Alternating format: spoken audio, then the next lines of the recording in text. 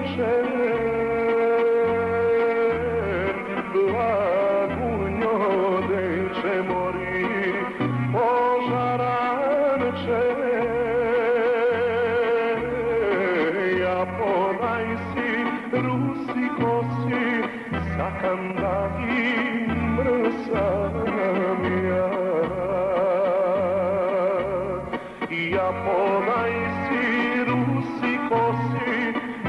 Ganga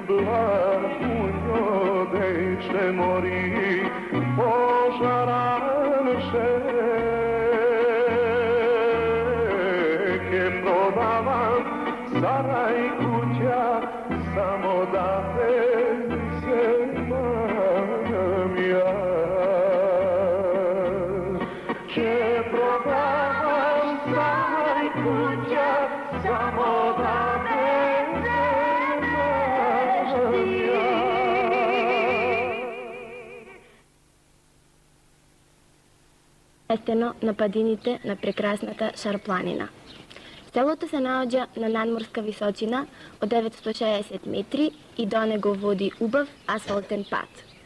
Повод за денешната посета на ова село представуваат јубилејните 10 поред првомајски средби кои ги организира местната заедница на ова село. И не само за жителите на ова село, туку и пошироко. Денешниот разговор со мештаните ќе го започнеме со председателот на местната заедница, господинот Крстески Лазар. Господине Крстески, да не запознаете накратко со структурата на ова село. Абе, ова село, надморската висина е кажавте, мислам, порано бројало околу 120 куќи. Со тоа околу 850 жителя. А, Причината за, за да се намали тоа село била таја, што луѓето биле во работен однос, а, нема, немале асистенција за да патуваат секој ден, ради децата, школување на децата и така а, селото се, доста луѓе се емигрирале, отишле и така. А сега, моментално, селото броит, мислам, куќите се тука сите, да. а Но, мислам, а, пълни куќи имат околу 60 домаќинства, од тие 60 домаќинства 150 житела имат се моментално. Гледам во ова село имате електрификација, телефон, што не е случај со другите села. Ами имаме, мислам, постигнато има а, доста ова село, ама после кога веќе емигрира, мислам, народот, ние постигнаме сите оние потребни работи кои требаше. Мислам, прво беше школа, направиме исто со тие акции наши, било, мислам, ова село од големи, го, од голема послушност, од, од, со големи акции, со голема елан, сме постигнале сите тие работи. Прво школото, после имаме Да. постигнато струјата, а мислам, струја донесовме и така и другите активности. Сите биле активностите спроведени од страна на, на местната заедница. Значи повторно како иницијатор местната заедница. Така. Дали знаете, односно дали можете да ни кажете кои иницијативи ги превзема селото за повраќање повторно на Мислам, ја жителите? не докажав, сакам да докажам уште кои, кои, кои имаме, кои а, постигнати, а, мислам, а, имаме постигнато, рекоме, нели, школото, а, после тоа имаме водовод. Водоводот е а, донесен по иницијатива на а, е професор на факултет имам од пожара на 32 година а, кои имат завршено по негова иницијатива водоводот и патот го, го направи он крстески игно со а, кој е сега покојни.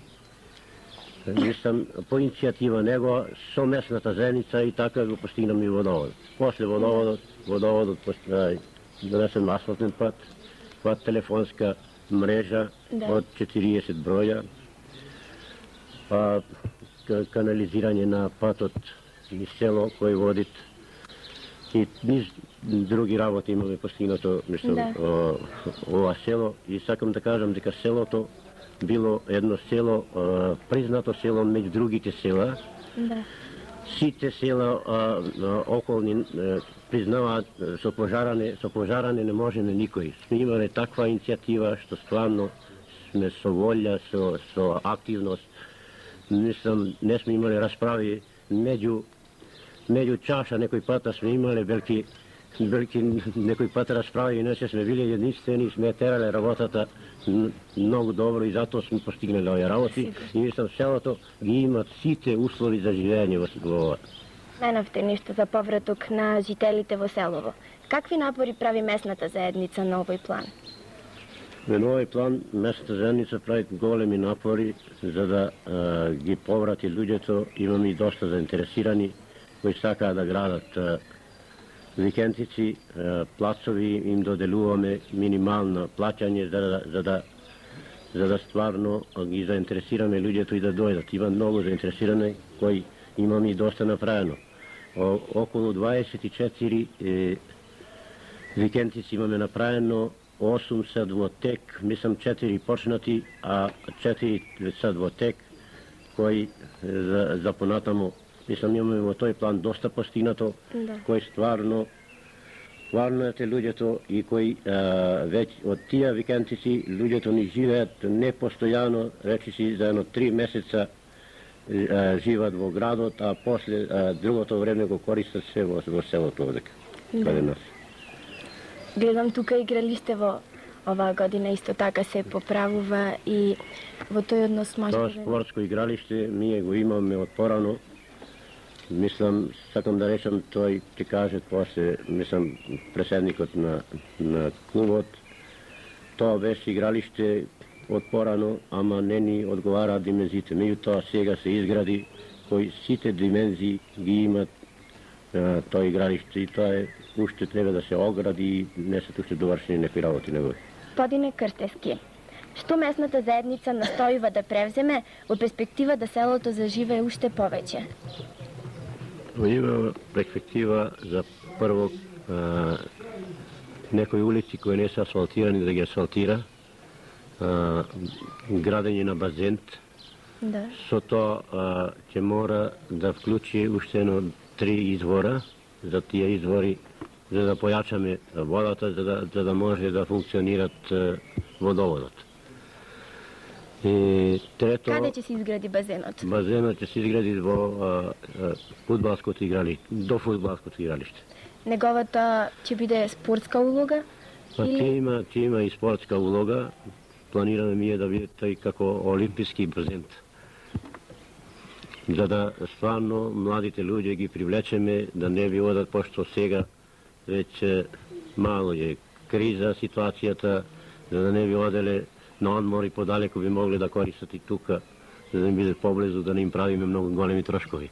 Сигурно. И како трето, мислам, планираме за нешто, некоја задруга, за некои, за некои луѓе да можеме ни се нудити некоја фабрика за некои 50% преработка на некои артикли и така, да, да, да го оживе веселото, да, да ги повратиме и младите луѓе, за да стварно ова село остане и понатамо.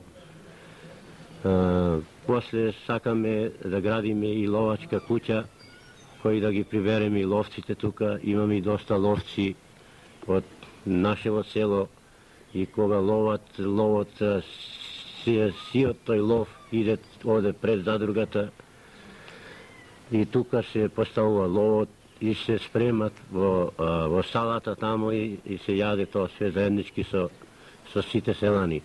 Тоа И- денес е организирано како друштво или како поединци ги изведуваат тие ловачки како активности?